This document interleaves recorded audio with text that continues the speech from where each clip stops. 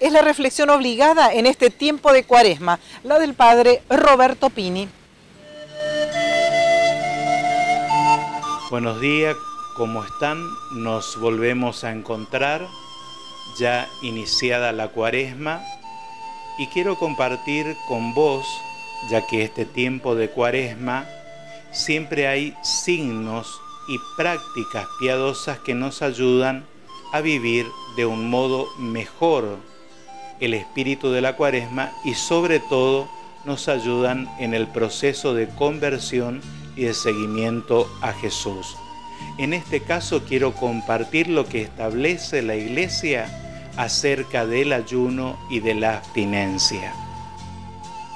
Días de ayuno y abstinencia. Día de ayuno y abstinencia es el miércoles de ceniza, primero de marzo que ya ha pasado, y el viernes santo 14 de abril. Día de abstinencia solamente, todos los viernes, a no ser que coincidan con una solemnidad debe guardarse abstinencia de carne o de otro alimento según lo que haya determinado la conferencia episcopal de cada país según el canon 1251. La ley de abstinencia obliga a los que han cumplido 14 años. La ley de ayuno a todos los mayores de edad, es decir, a partir de los 18 años hasta que hayan cumplido 59 años, según lo establece el canon 1252.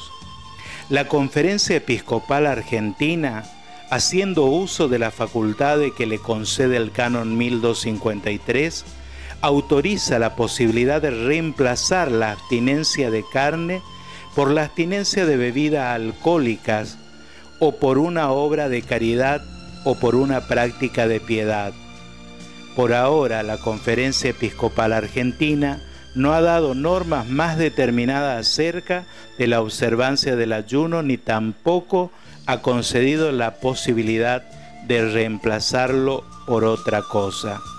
Recordemos que el ayuno y la abstinencia en tiempo de cuaresma tiene por un lado ayudarnos en el proceso de conversión, a ser señores de nosotros mismos, de nuestros actos, y de aquello de lo que nos privamos, compartir y dárselo a los que menos tienen.